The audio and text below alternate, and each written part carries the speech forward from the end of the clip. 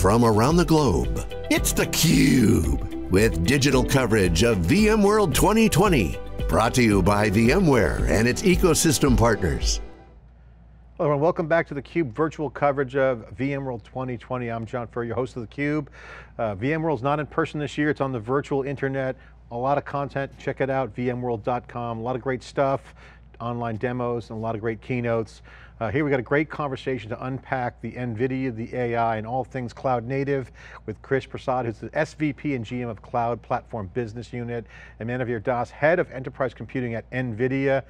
Gentlemen, great to see you virtually. Thanks for joining me on the virtual cube for the virtual VMworld 2020. Thank you, John. Pleasure to be here. Quite a world. And I think one of the things that obviously we've been talking about all year since COVID is the acceleration of this virtualized environment with media and everyone working at home remote really puts the pressure on digital transformation. It's been well, dis well discussed and documented. Uh, you guys have some big news, obviously on the main stage, NVIDIA CEO Jensen there, legend, and of course, you know, big momentum with, the, with AI and GPUs and all things, you know, computing. Um, Krish, what are your announcements today? You got some big news. Could you take a minute to explain the big announcements today? Yeah, John. Um, so today we want to make uh, two major announcements um, regarding our partnership with NVIDIA. So let's take the, the first one and talk through it, and then we can get to the, the second announcement later. Um, in the, the, first one, as you well know, NVIDIA is the leader in AI, and VMware is the leader in uh, virtualization and cloud. Um, this announcement is about us teaming up deliver a jointly en engineered solution to the market to uh, bring AI to every enterprise. So as you well know, VMware has uh, more than 300,000 customers worldwide. And we believe that this solution would enable our customers to uh, transform their data centers for AI applications running on top of their virtualized VMware infrastructure that they already have. And we think this is going to vastly accelerate the adoption of AI and essentially democratize AI in the enterprise. Why AI, why now Manuvir? Obviously we know the GPUs have set the table for many cool things from mining Bitcoin to really providing a great user experience. But AI has been a big driver. Why now? Yes, why no. VMware now? Yeah, and I think it's important to understand this is about AI more than even about GPUs. You know, this is a great moment in a in time where AI has finally come to life because the hardware and software has come together to make it possible. And if you just look at industries and different parts of life, how is AI impacting? So, for example, if you're a company on the internet doing business, everything you do revolves around making recommendations to your customers about what they should do next. This is based on AI. Think about the world we live in today with the importance of healthcare, drug discovery, finding vaccines for something like COVID, that work is dramatically accelerated if you use AI. And what we've been doing at NVIDIA over the years is we started with the hardware technology with the GPU, the parallel processor, if you will, that could really make these algorithms real. And then we worked very hard on building up the ecosystem. You know, we have 2 million developers today who work with NVIDIA AI. There's thousands of companies that are using AI today. But then if you think about what Krish said, you know, about the number of customers that VMware has, which is in the hundreds of thousands, the opportunity before us really now is how do we democratize this? How do we take this power of AI that makes every customer and every person better and put it in the hands of every enterprise customer? And we need a great vehicle for that. And that vehicle is VMware. Guys, before we get to the next question, I just want to get your personal take on this because again, we've, we've talked many times, both of you have been on the cube on this topic, but now I want to highlight, you mentioned the GPUs, that's hardware, this is software. VMware had hardware partners and still software is driving it. Software is driving everything, whether it's something in space, it's an IoT device, or anything at the edge of the network. Software is the value. This has become so obvious. Just just share your personal take on this for folks who are now seeing this for the first time. Yeah, I mean, I mean, I'll give you my take first. I, am a software guy by background. I, um, I I learned a few years ago for the first time that an array is a storage device and not a data structure in programming. And that was a shock to my system. Uh, definitely, the world is based on algorithms. Algorithms are implemented in software. Great hardware enables those algorithms. Krish, your thoughts? And, we're living the future right yeah, now. I, I would say, look, I mean, the developers are becoming uh, the the center. They are uh, actually driving the transformation in this industry, right? It's uh, all about the application development. It's all about software. The infrastructure itself is becoming software defined. And the reason for that is you want the developers to be able to uh, craft the infrastructure the way they need for the applications to run on top of. So it's all about software, like I said. Software defined. Uh, yeah, just want to get that quick uh, self-congratulatory high five amongst ourselves virtually. Uh, congratulations. exactly. Krish, last time we spoke at VMworld, we were obviously in person, but we talked about Tanzu and vSphere. Okay, you had Project Pacific. Does this expand, does this announcement expand on that offering? Absolutely. I know, John, over the past several years, uh, VMware has been on this journey uh, to define the hybrid cloud infrastructure, right? It essentially is uh, the software stack that we have, which will enable our customers to provide a, a cloud operating model to their developers, irrespective of uh, where they want to uh, uh, land their workloads, whether they want to land their workloads on premise or if they want to want it to be on top of AWS, Google, Azure. Uh, VMware Stack is already running across all of it, as you well know. And uh, in addition to that, we have around you know 4,000, 5,000 uh, service providers who are also running our platform to deliver cloud services to their customers. So, as part of that journey, last year we took the platform and we added one further element to it. Traditionally, our platform has been uh, used by customers for running VMs. Last year, we natively integrated Kubernetes into our platform. This was the big re-architecture of uh, vSphere, as we talked about. That was delivered to the market. And essentially now customers can use the same platform to run Kubernetes, containers, and VM workloads. The exact same platform. It is um, uh, operationally the same. So the same skill sets, tools, and processes can be used to run Kubernetes as well as VM applications. And the same platform runs whether you want to run it on premise or in any of the clouds as we talked about before. So that vastly simplifies the operational complexity that our customers have to deal with. And this is the next chapter in that journey by uh, doing the same thing for AI workload. You guys had great success with these co-engineering joint, in, joint efforts, um, VMware, and now with NVIDIA, um, it's interesting, it's going to, certainly very relevant and it's very cool. So it's cool and relevant, so check, check. Manuvir, talk about this because how do you bring that vision to the enterprises? Yeah, John, I think, you know, it's important to understand there is some real deep computer science here between the engineers at VMware and NVIDIA. Just to lay that out, you can think of this as a three layer stack, right? The first thing that you need is clearly you need the hardware that is capable of running these algorithms. That's what the GPU enable. Then you need a great software stack for AI, all the right algorithmics that take advantage of that hardware. This is actually where NVIDIA spends most of its effort today. People may sometimes think of NVIDIA as a GPU company, but we are much more a software company now where we have over the years created a body of work of all of the software that it actually takes to do good AI. But then how do you marry this software stack with the hardware? You need a platform in the middle that supports the applications and consumes the hardware and exposes it properly. And that's where vSphere, um, you know, as Krish described, with either VMs or containers, comes into the picture. So the computer science here is to wire all these things up together with the right algorithmics so that you get real acceleration. So, as examples of early work that the two teams have done together, we have workloads in uh, in healthcare, for example, in cancer detection, where the acceleration we get with this new stack is 30x, right? The workload is running 30 times faster than it was running before this integration just on CPUs. Great performance increase. And again, you guys are hiring a lot of software developers. I can attest to knowing folks in Silicon Valley and around the world. So I know you guys are bringing the software chops to the table on a great product, by the way, so congratulations.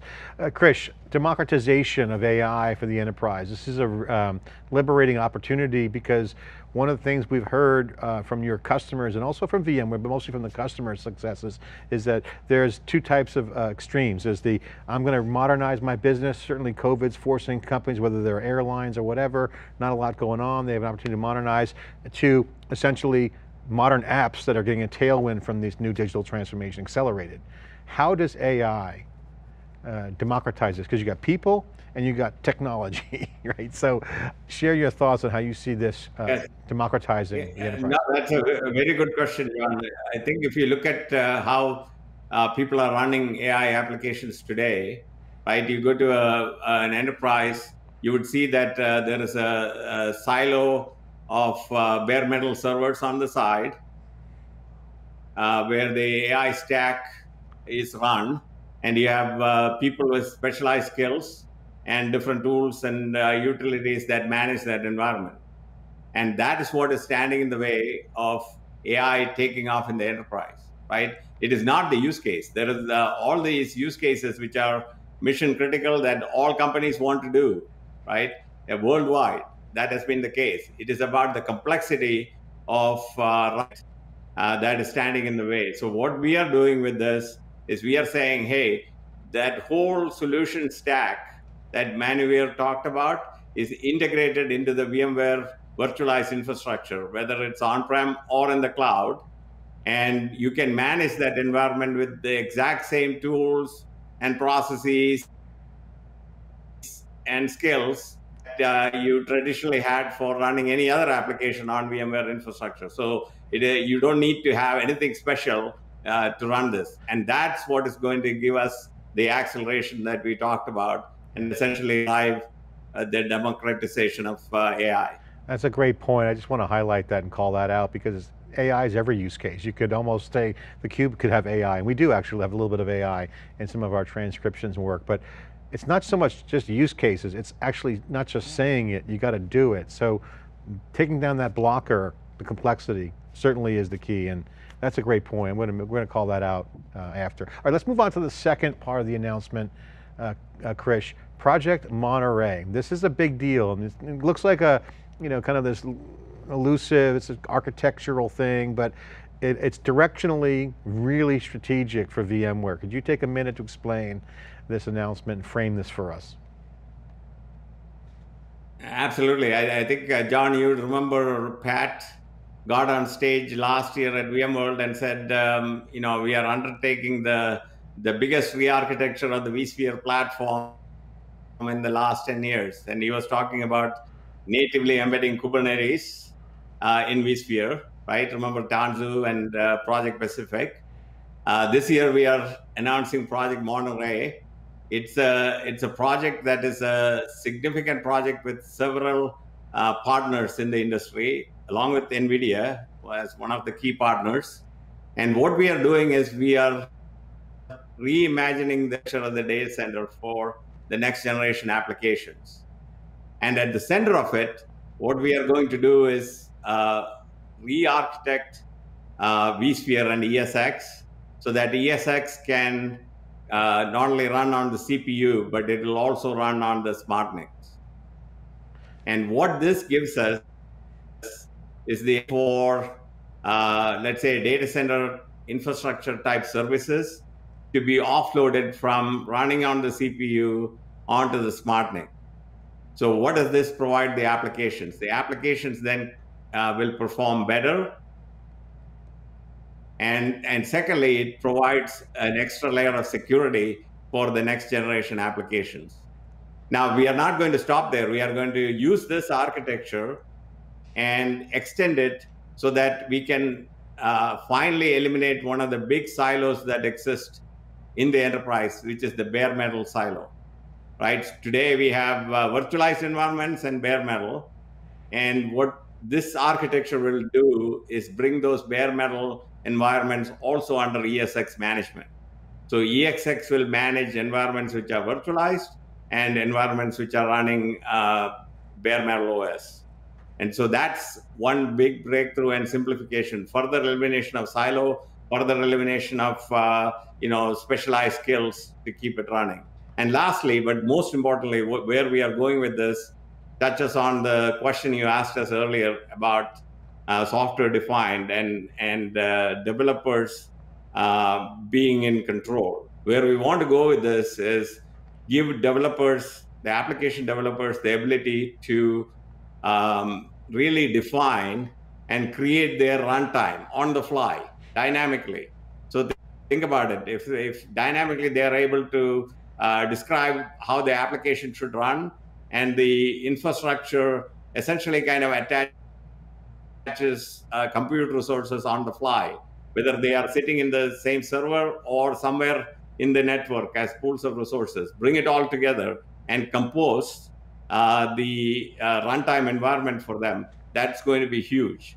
And, and they won't be constrained anymore by the resources that are tied to the physical uh, server that they are running on. And that's the vision of where we are taking it. It is going to be the next big uh, change in the industry in terms of enterprise computing. Hmm. Sounds like an operating system to me. Hmm, yeah, runtime, assembly, orchestration, all these things coming together. Exciting stuff. Looking forward to digging in more after VMworld. Manuvir, how does this connect to NVIDIA and AI? Connect, tie that together for us. Yeah, it's an interesting question because you would think, you know, okay, so NVIDIA is this GPU company or this AI company, but you have to remember that NVIDIA is also a networking company uh, because our friends at Mellanox joined us uh, not that long ago. And the interesting thing is that there's a yin and yang here because uh, Krish described the software vision, uh, which is brilliant. And what this does is it imposes a lot on the host CPU of the server to do. And so, what we've been doing in parallel is developing hardware, uh, a new kind of uh, NIC, if you will. We call it a DPU or a data processing unit, uh, or a smart NIC that is capable of hosting all this stuff. So amusingly, when Krish and I started talking, one of the we exchanged slides and we basically had the same diagram for our vision of where things go uh, with that software, the infrastructure software being offloaded, data center infrastructure on a chip, if you will, right? And so it's a very natural confluence. We are very excited to be part of this Monterey yeah. program uh, with Krish and his team.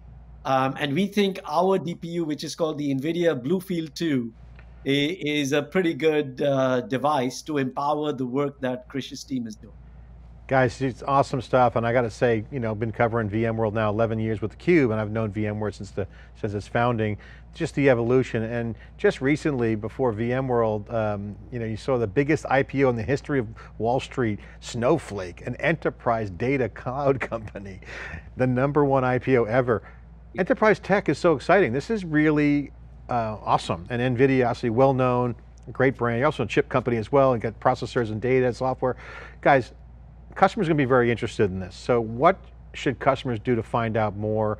Obviously you got Project Monterey, strategic direction, right, framed perfectly. You got this, this announcement. How, how, if I'm a customer, how do I get involved? How do I learn more? And what's in it for me? Yeah, John, I would say, yeah, you know, I, I, yeah, sorry, go ahead, Krish.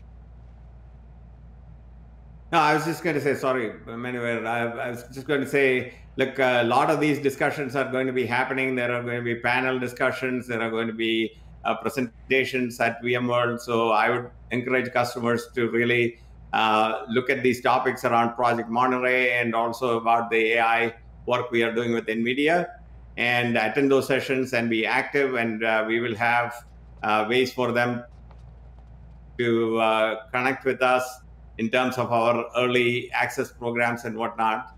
And then, as Manuvir was about to say, I think, uh, I'll give it to you about GTC. Yeah, I think right after that, we have the NVIDIA conference, which is GTC, where we'll also go over this. And, and I think uh, some of this work is a lot closer to hand than people might imagine. So I would encourage watching all the sessions and, and learning more about how to get started. Yeah, great stuff. And just for the folks at VMworld.com watching, Cloud City's got 60 solution demos. Um, go look for the sessions. You got the X, the expert sessions. Um, Raghu, Joe Beda, a bunch of other people from VMware are going to be there, and of course, a lot of action on the content. Uh, guys, thanks so much for coming on. Congratulations on the news, uh, big news. NVIDIA on the main virtual stage here at VMworld and of course here in theCUBE. Thanks for coming on, appreciate it. Thank you for having us.